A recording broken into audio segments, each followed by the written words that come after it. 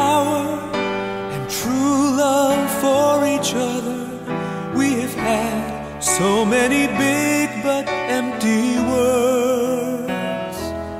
So we come before your face, asking for your grace. Bring your people to a state of kingdom life. Restore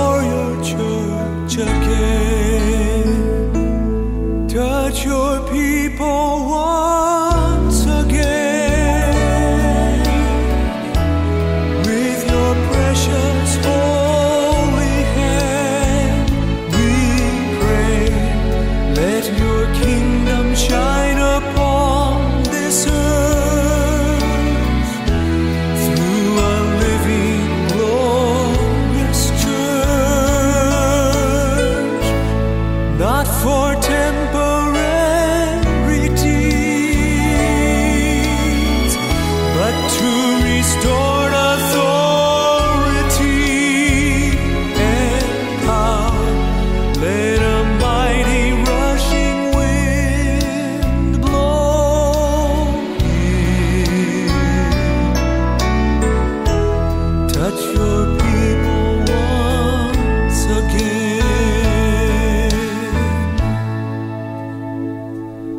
Lord, you see your tired servants and the broken, wounded soldiers. Oh, how much we need your precious healing hand.